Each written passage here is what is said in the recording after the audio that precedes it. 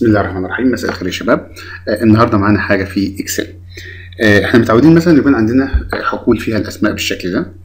وعايزين نطلع أو نستخلص آه أحيانا اسم الابن أو اسم الشخص نفسه الاسم الشخصي آه واحيانا نحتاج إن إحنا نطلع اسم الأب أو اسم الجد آه تحديدا. يعني نطلع اسم الجد بس.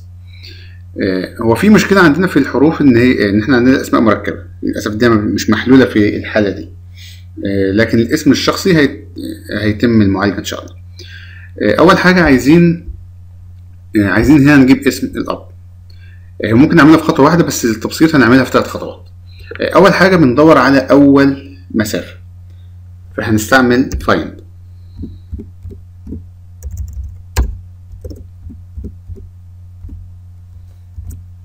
هندور على أول مسافة نحط مسافة فاضية. في الحقل ده قال لي إن أول مسافة بعد ست حروف. كده اتنين تلاتة أربعة خمسة وأول مسافة هي رقم ستة. في علي أول مسافة بعد رقم رقمها أربعة. في وائل وكمال رقمها خمسة. تمام.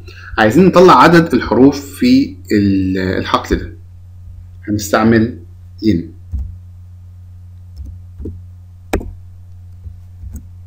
نفتح قوس ونقول له عدد الحروف. في الحقل ده كده قال لي هنا عدد الحروف 16 يبقى اسم الأب مكون من آه آخر 10 حروف. هنا آخر 10 آه آخر آه 11 حرف. طيب. خلينا نفصل اسم الأب عن اسم الابن.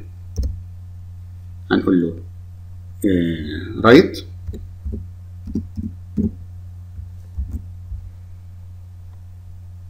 الحقل ده. طيب هنا هنحتاج إن إحنا نكتب له العشرة. نقول له هنا إن يفصل آخر عشر حروف.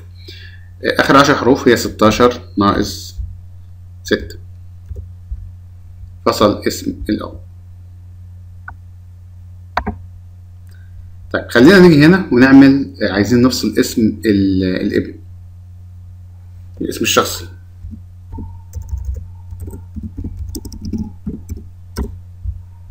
هنا استعملنا قلنا له قص لي آخر عشر حروف هنا نقول له أول عشر حروف.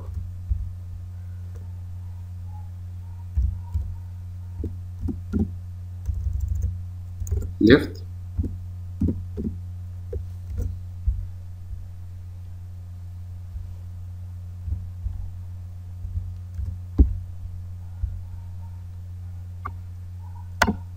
وكذلك لو إحنا عايزين اسم الجد هنا هنعمل مرة تانية في المكان ده عشان نجيب اسم الجد.